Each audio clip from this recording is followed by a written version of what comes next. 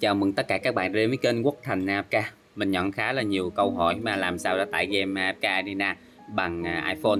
Thì à, tại vì mình không có điện thoại Android Nên mình à, hôm nay thì mình sẽ làm cho các bạn video này Để các bạn nào cần tải game bằng iPhone thì có thể xem nha.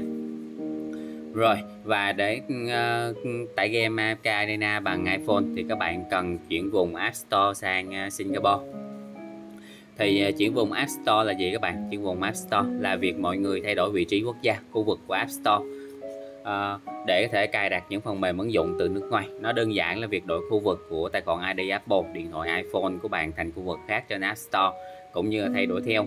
Và tất cả các thay đổi giả định này như vị trí tìm kiếm ngôn ngữ hiển thị trên cửa hàng ứng dụng và lợi ích của việc chuyển vùng à, quốc tế sang App Store thì để giúp cho các tín đồ game sớm tay được những game ứng dụng mới phát hành và không có trên App Store của Việt Nam. Vì thường một số game mới phát hành ở các server nước ngoài sẽ được à, mở thử nghiệm trước. Và bên cạnh việc tải game thì những ứng dụng hoàn toàn không có tại Việt Nam cũng rất hữu ích cho người mê công nghệ đặc biệt là những app chụp ảnh và chỉnh sửa ảnh. Rồi nói chung là cơ bản thì dành cho các anh em uh, gamer uh, tải trước game ở nước ngoài các bạn hoặc những game không có ở Việt Nam sau đây là những cách chuyển vùng sang à, App Store những bạn. Cách một đó, chuyển qua App Store. Bước 1 thì các bạn truy cập vào App Store. Bước 2 thì các bạn chọn biểu tượng tài khoản của bạn, hình tròn trên góc à, bên phải. Bước 3 thì các bạn chọn tiếp vào tên tài khoản. Bước 4 thì các bạn chọn vùng quốc gia. Bước 5 thì các bạn chọn thay đổi quốc gia hạt vùng. Bước 6 các bạn chọn quốc gia, vùng, chọn Singapore, rồi nhấn đồng ý. Bước 7 thì à, các bạn đọc qua điều khoản, qua điều kiện của dịch của dịch vụ ờ, Apple Media và tiếp tục chọn đồng ý. Bước 8 để tiếp theo chuyển sang giao diện điền thông tin phương thức thanh toán và chọn non. Bạn có thể bỏ qua không cần điền và nếu muốn tại một địa chỉ thanh toán bạn thể điền như sau. City thì các bạn chọn tùy ý. À, Postcode thì các bạn chọn à, 569933. iPhone thì à, 437 XXX đó ý là số điện thoại của mình.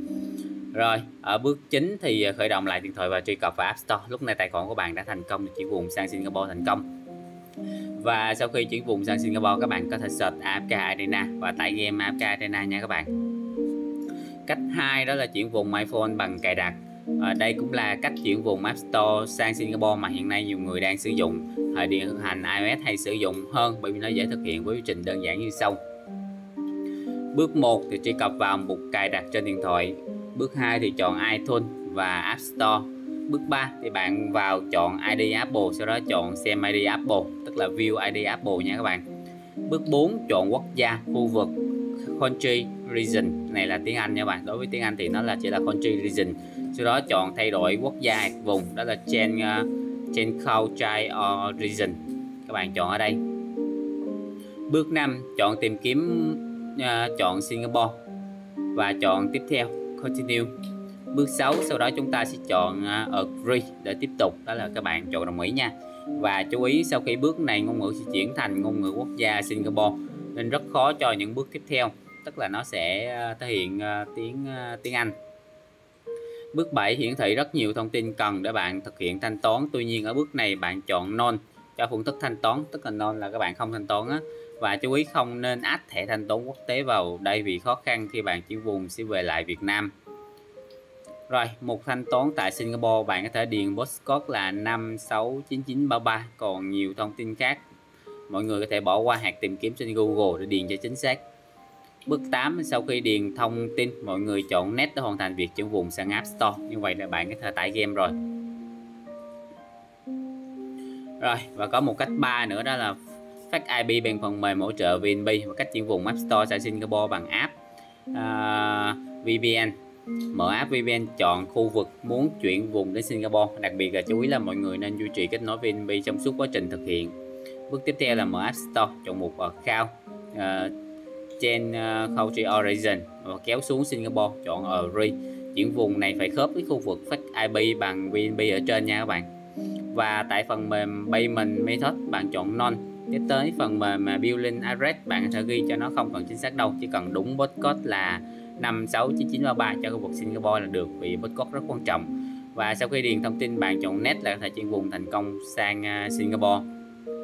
Vậy trên đây là cách chuyển vùng App Store sang Singapore mới nhất. Hy vọng thì à, mọi người với với cái cái à, cái cái cái nốt này thì mọi người có thể chuyển vùng sang Singapore và tải game AFK Arena à, và để chuyển về Việt Nam thì các bạn làm tương tự các bạn chọn quốc gia Việt Nam là được rồi. Cơ bản thì ờ, mình thấy khá nhiều bạn hỏi và thường thường thì mọi người hay dùng cách thứ hai này các bạn. Mọi người hay chuyển ờ, vùng sang Singapore bằng việc cài đặt á tại vì trên iPhone nó có hỗ trợ thì chúng ta không cần phải tải phần mềm phát VNB làm gì nha. Rồi và mình xin phép được kết thúc cái video của mình tại đây. Cảm ơn tất cả các bạn rất nhiều và hẹn gặp lại các bạn tại các video lần sau. Xin chào tạm biệt.